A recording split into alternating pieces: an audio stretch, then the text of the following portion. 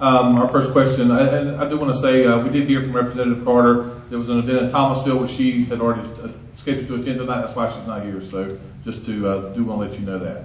J.C., the first question, again, you'll have a one minute, uh, time to respond to these Well, questions. since I'm here by myself, I can't have her minute. No, just your minute, I'm sorry. Nice try though. I appreciate the, the ask. but- Can't blame brother.